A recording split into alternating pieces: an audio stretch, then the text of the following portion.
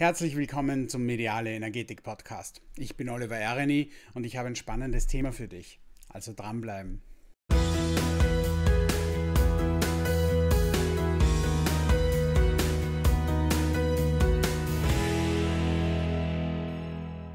Macht und Onmacht. Das sind ja eigentlich ganz, ganz riesige Themen. Wenn man sich das astrologisch anschaut, dann sind diese Themen gern mal dem Sternbild Skorpion zugeteilt. Also die, die gehören zum Archetypen Skorpion, Macht und Onmacht. Aber was bedeutet das jetzt? Wenn man sich ein bisschen mit Magie auskennt, geht es ja auch immer darum, wer hat jetzt die Macht. Ne? Also ähm, Star Wars zum Beispiel auch dieses magische Energiefeld. Ne? Äh, das auf Deutsch die Macht genannt wird. Was bedeutet das aber jetzt für dich persönlich? Macht und Ohnmacht, diese plutonischen Energien. Und ich finde, es ist gerade wichtig in unserer Zeit, dass wir uns ein bisschen damit auseinandersetzen. Nämlich diesem ganz klaren Gefühl, was habe ich in der Hand und was habe ich nicht in der Hand. Das heißt, über was habe ich die Macht und wo habe ich keine Macht. Man könnte es auch anders übersetzen mit was kann ich beeinflussen, was kann ich nicht beeinflussen. Und ein ganz häufiges Thema, was da vorkommt, und das führt mich gleich zum ersten Punkt, ist, dass Klienten oft sehr gekränkt sind, mit welchen Gefühlen Leute auf sie zugehen. Zum Beispiel jemand ist unfreundlich oder, oder jemand lehnt sie ab. Also die Gefühlswelt von anderen. Und viele Klienten machen sich dann auch für das verantwortlich. Und wenn du das kennst, wenn du das Gefühl hast, was habe ich denn falsch gemacht, dass der jetzt so schlecht gelaunt war mir gegenüber oder dass der so unfreundlich war, dann ist das gleiche mal der gute Tipp, du kannst das sein lassen, weil das ist eigentlich nicht in deiner Macht, wie jemand auf dich reagiert. Denn ob ich jetzt sage, du bist der wunderbarste Mensch der Welt oder du bist der größte Idiot der Welt, das liegt nicht in deiner Hand. Das ist einfach meine Wirklichkeit und das ist auch mein Thema dann. Vielleicht bin ich unfreundlich dir gegenüber. Ja? Vielleicht bin ich, äh, bin ich nicht sehr höflich dir gegenüber. Das mag alles sein. Und da kannst du dir überlegen, ob du jemand Unhöflichen oder jemand Unfreundlichen in deinem Umfeld haben möchtest, generell. Aber grundsätzlich liegt es nicht in deiner Hand, wie ich jetzt auf dich reagiere oder wie jemand anderer auf dich reagiert. Es ist auch nicht die Aufgabe von anderen, so schön es auch wäre, zu erkennen, wie toll du bist oder wie besonders du bist. Das solltest du schon aus dir selbst heraus generieren können. Und das ist also der erste ganz wesentliche Teil. Übernimm nicht die Verantwortung für Gefühle von außen. Da bist du wirklich ohnmächtig, da kannst du nichts dagegen tun und du wirst sie auch nicht ändern können. Also das bitte ganz klar merken. Und das führt gleich zu Punkt 2, nämlich andere sind auch nicht für deine Gefühle verantwortlich. Und das ist auch ganz wichtig. Da hast du die Kontrolle. Denn es geht dann auch nicht, dass du sagst, du machst mich traurig oder du machst mich glücklich, sondern es geht darum, dass du auch für deine Gefühle die Verantwortung übernimmst und für deine Gefühle einfach auch einstehst. Das bedeutet, niemand im Außen kann dir ein Gefühl vermitteln. Ja?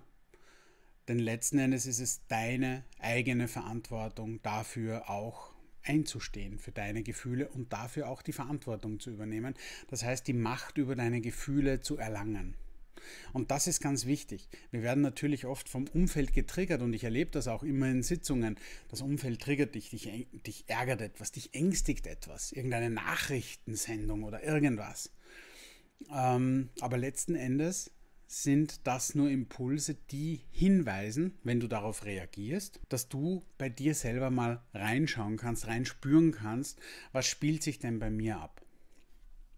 Also übernimm bitte die Verantwortung auch für deine Emotionen und bleib da ganz klar bei dir und geh nicht nach außen. Das ist schon Punkt Nummer zwei. Da solltest du in deiner Macht sein. Im Außen, Gefühlen von außen gegenüber, bist du absolut ohnmächtig. Da kannst du nichts tun. Das heißt, du hast Verantwortung für deine Gefühle und da kannst du auch die Kontrolle drüber erlangen Und da solltest du auch die Kontrolle darüber erlangen. Und das heißt jetzt nicht, dass du zum Roboter wirst, sondern es geht nur darum, dass man sagt, ein Gefühl darf einen gewissen Raum einnehmen, einen gewissen Rahmen haben, meines Erachtens nach. Das ist wie ein Fluss, der durch ein Flussbett fließt. Wenn der über die Ufer tritt permanent und Häuser links und rechts verwüstet und mitreißt, dann ist dann kann man nicht mehr sagen, der Fluss ist so wunderbar und so nährend, sondern dann ist der Fluss einfach zu weit gegangen und gehört eingezäumt. Und so ähnlich sehe ich das eigentlich auch mit Gefühlen. Das heißt, man sollte lernen, dass die Gefühle selber eigentlich unter deiner Kontrolle stehen und dann lebt es sich schon wesentlich leichter. Wenn du da natürlich Themen hast oder Probleme hast mit deinen Emotionen, dass die hochpoppen oder das Gefühl hast, du bist da ohnmächtig deinen Emotionen gegenüber, dann schau dir mal ein paar so Übungen an. Ich habe einige Meditationen auch am Kanal, aber beschäftige dich da bitte mal damit. Gut, also eigene Macht, eigene Kontrolle über deine eigenen Emotionen, keine Kontrolle, eine Ohnmacht über die Emotionen von außen. Und wenn du damit konfrontiert wirst, weil ich erlebe es auch bei Klienten, die gerne im Familiensystem da was übernehmen. Das heißt, zum Beispiel, wenn du als Kind gehört hast äh, von deinen Eltern oder von deiner Mutter, du machst mir solche Sorgen, Kind, ich sorge mich so.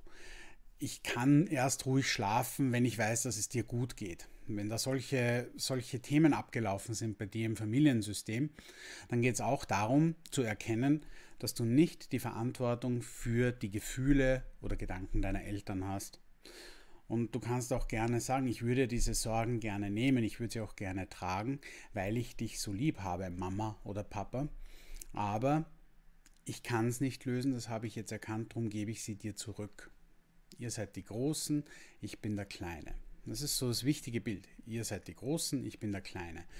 Und wenn man es eben, das ist die Ebene der Eltern, und wenn man das auf der Ebene von Arbeitskollegen hat oder von Freunden hat oder Geschwistern, kann man das ja ebenbürtig auch sehen und sagen, okay, du bist genauso stark wie ich, du bist genauso kompetent wie ich und du bist verantwortlich für deine äh, emotionalen Welten und Realitäten.